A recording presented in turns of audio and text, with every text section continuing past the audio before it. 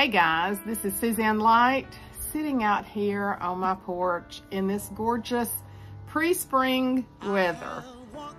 We could very well still have some cold weather, but right now it's gorgeous. And I just had to come out here. I didn't want to sit in the house and teach today when outside was so gorgeous. We're gonna pick right back up in the book of John we this is our fourth lesson so if you're seeing this one first go back. I have a playlist called the book of john. Go back and start at the beginning because the beginning john 1 1 is just such some deep stuff about the word of god. And um, we are just we just go to a certain point of this and then stop. So many of you have said that you're enjoying it.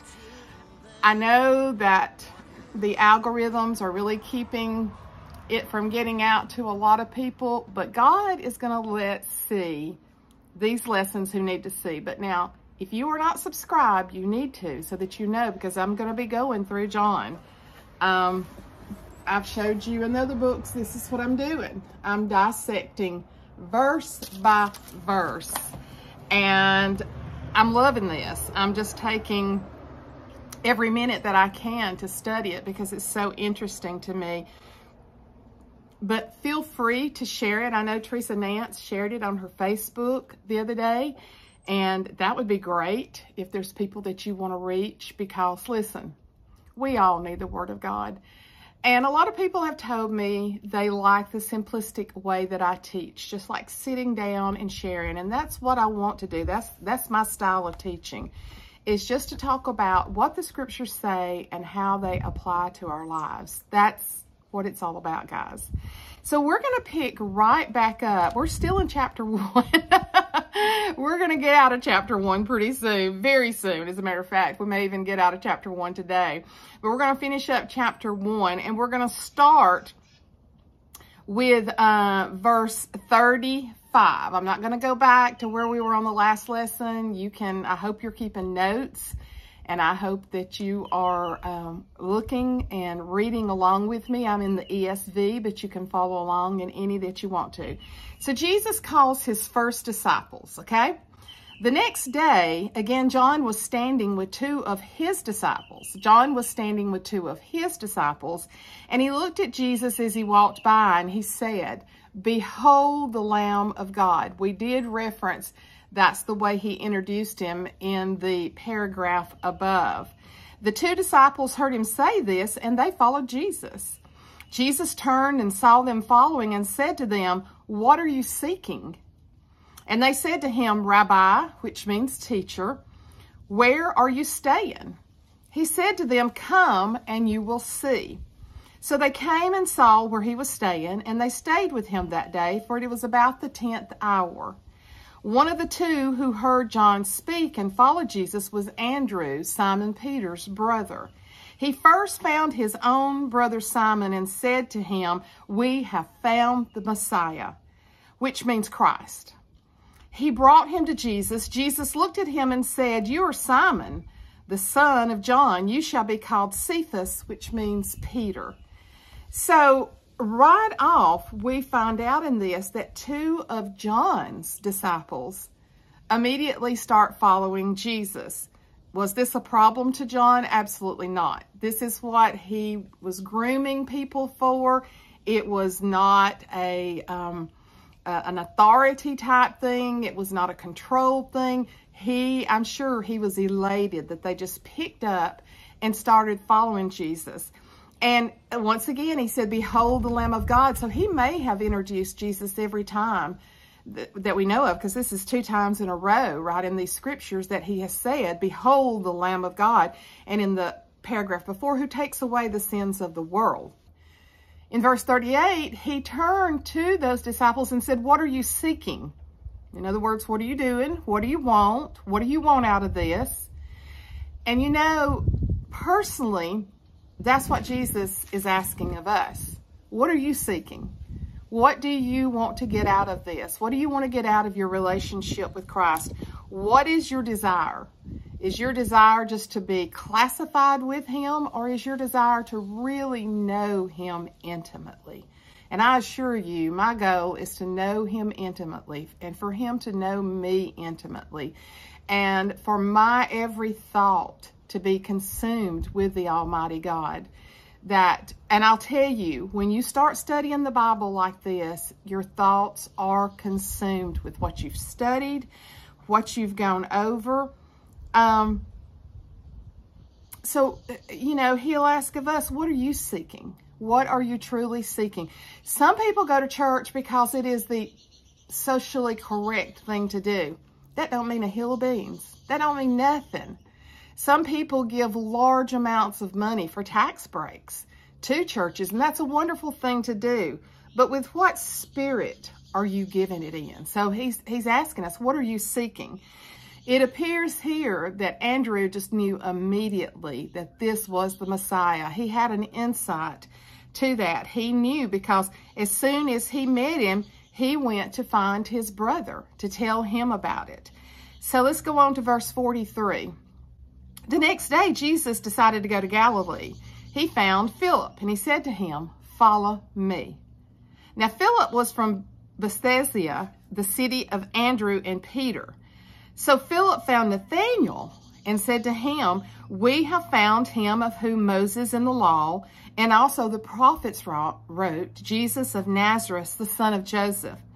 Now, now Nathanael said to him, Can anything good come out of Nazareth? Philip said to him, Come and see. So when Jesus saw Nathanael coming toward him and said of him, Behold, an Israelite indeed, in whom there is no deceit. Nathanael said to him, How do you know me? Jesus answered him, Before Philip called you, when you were under the fig tree, I saw you. Nathanael answered him, Rabbi, you are the Son of God. You are the King of Israel. Jesus answered in him, Because I said I saw you under the fig tree, do you believe me? You will see greater things than this. And he said to him, Truly, truly, I say to you, you will see heaven opened and the angels of God ascending and descending on the Son of Man. So, what Nathanael immediately looked upon when when um, when Philip told him that this was Jesus of Nazareth, he said, "Can anything good come out of Nazareth?" He was being prejudiced. He was being prejudiced. And, you know, he was very skeptical. But Nathaniel didn't didn't argue with him, but just invited him to come meet Jesus for himself. Well, it didn't take much for Jesus to convince Nathaniel. He just said, I, I, I saw you under the fig tree. And he said, well, I believe you're the Messiah. and he said, uh, because I saw said to you, I saw you under the fig tree, you believe? But I believe it was much, much more than that. I believe it was a spiritual connection that Nathaniel saw and experienced and felt and witnessed. And then these other disciples were there also. But I think um, there's a song that says, Jesus, something special, supernatural about that name. Jesus. And so it was almost like something supernatural happened to Nathaniel to just automatically turn him around and to believe that he was the Messiah. But Jesus said, hey, if you believe this, you're going to see much greater things coming. So he won him over. He, we don't know how, we don't know the specifics, we just know that Nathaniel's heart was changed. Now we're going to move on to chapter 2. And we're going to talk about where the very first miracle that Jesus performs was at the wedding of Cana. And there is so much meat in this. There is so much to this story. So I'm going to start reading it and then I'll go back and kind of dis dissect some of it and tell you what I have found in reading it. The wedding at Cana, uh, John 2, verse 1. On the third day, there was a wedding at Cana in Galilee, and the mother of Jesus was there. Jesus also was invited to the wedding with his disciples. When the wine ran out, the mother of Jesus said to him, They have no wine. And Jesus said to her, Woman, what does this have to do with me? My hour has not yet come. His mother said to the servants, she just ignored what he just said. His mother said to the servants, do whatever he tells you. Now there were six stone water jars there for the Jewish rites of purification, each holding 20 or 30 gallons. Jesus said to the servants, fill the jars with water. Okay? And they filled them up to the brim. And he said to them, Now draw out some and take it to the master of the feast. So they took it. When the master of the feast tasted the water now become wine and did not know where it came from, though the servants who had drawn the water knew, the master of the feast called the bridegroom and said to him, Everyone serves the good wine first, and when people have drunk freely, then the poor wine. But you have kept the good wine until now. This is the first of his signs Jesus did at Cana in Galilee and manifested his glory, and his disciples believed in him. So what they would do, and when I had looked it up, they would start out at the weddings with the finest of wine that they could afford. And then as the palate became accustomed to that, then they would water down the wine. They did not, they they couldn't afford, and these uh, receptions sometimes would go on for like three days. So they had to serve the wine at the beginning when they started drinking the very best. And it was um, absolutely a huge, major social mistake if the bridegroom and bride ran out of wine. It was just not acceptable during that time. You had to plan. It was a huge thing. So, first of all, for Jesus to be invited to this wedding said something. Yes, his mother was there. Yes, she was helping. But Jesus and his disciples were also invited, which says something about the kind of man that Jesus was for people to want to invite them to their wedding. So she says, woman, what, when, when she told him, she said, they've ran out of wine. And he said, well, what do you want me to do about it? And she said, he said, woman, what does this have to do with me? My hour has not yet come. In other words, I have not started manifesting miracles even with respect, Jesus said, he wasn't disrespectful to her when he said woman, but what he was doing, he was speaking to her as the son of God. He didn't say, mother, what do you want me to do? He said, woman. Some think in the commentaries that I read that this is exactly when the relationship between Jesus and his mother changed. And she knew by what happened, and he knew by calling her woman that the relationship was changing because he can't do anything without consulting his heavenly father. So he wasn't disrespecting his earthly mother when he called her woman, but he was saying, woman, in other words, I have got to refer to my father on this.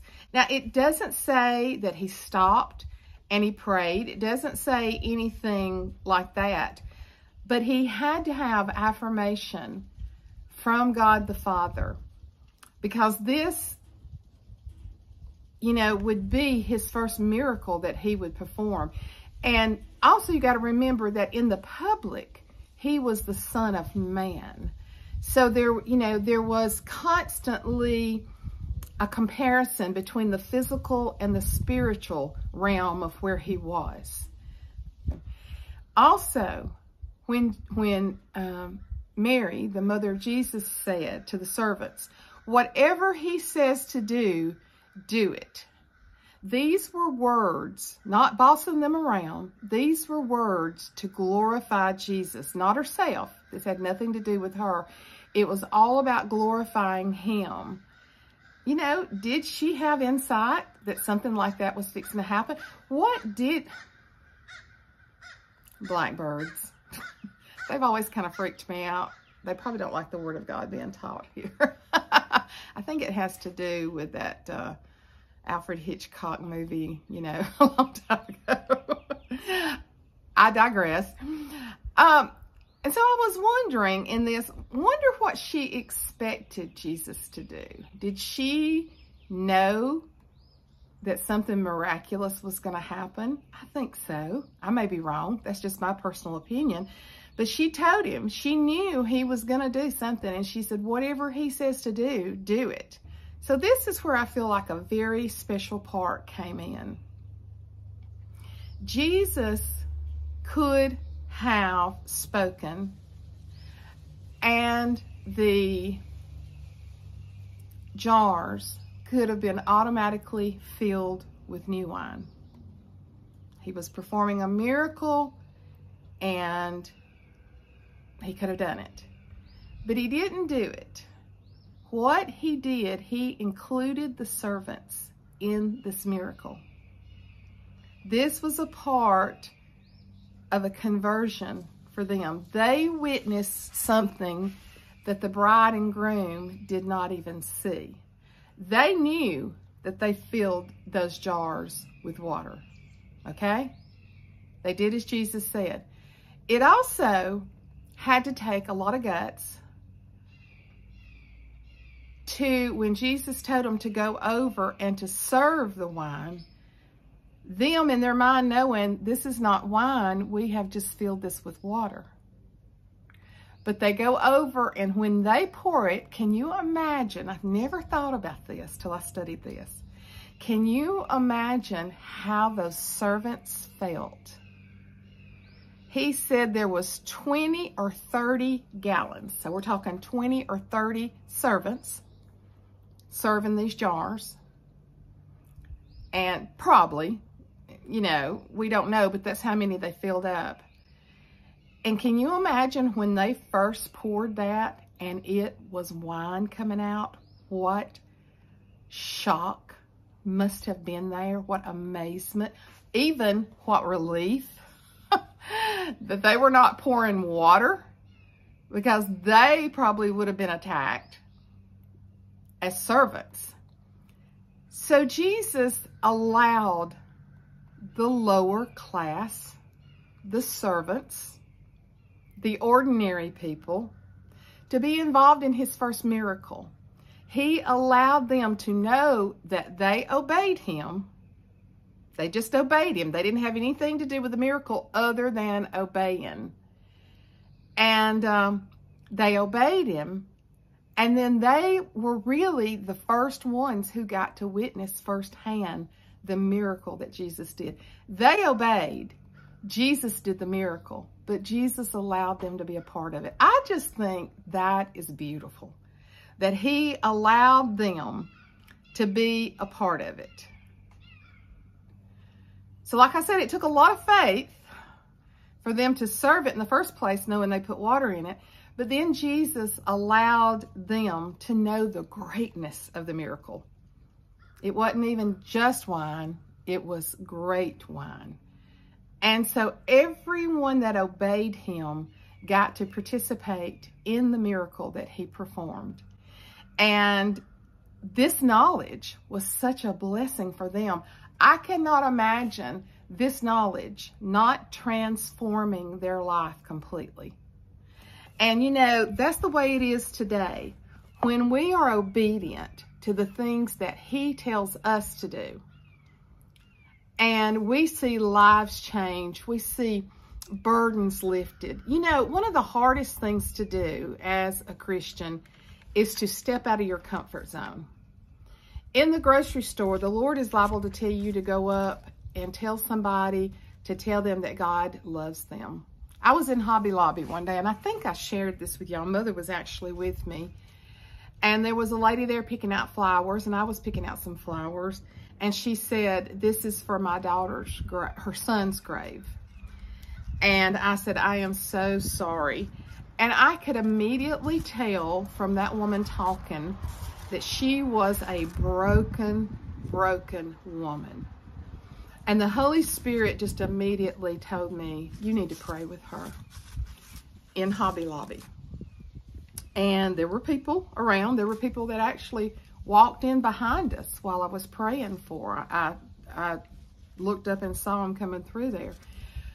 But I believe without a doubt that that was a God moment when I absolutely, that God provided the solution. God is the answerer of prayers. I was just obedient. And my mother, when we walked away, because my mother's a very reserved person in her spiritual life, she has been. And when we walked away, she said, You amazed me. And I said, What, mother? And she said, You amazed me that you have the boldness to do that. And she said, That touched that woman. And I said, I know. And I was just in tears. And I said, But mother, it's not boldness. It's just doing something that I feel that the Holy Spirit speaks to me right then and there.